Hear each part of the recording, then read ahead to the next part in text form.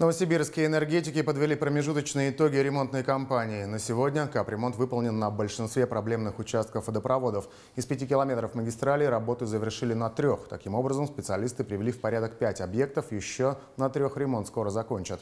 Из-за сложности некоторые работы затянулись, но, по заверению коммунальщиков, это не повлияет на сроки начала отопительного сезона. Батареи в домах новосибирцев потеплеют вовремя.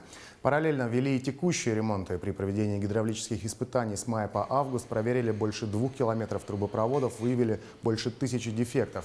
Это на 20% больше, чем в прошлом году. Еще 12 километров трубопроводов разного диаметра удалось заменить в течение лета.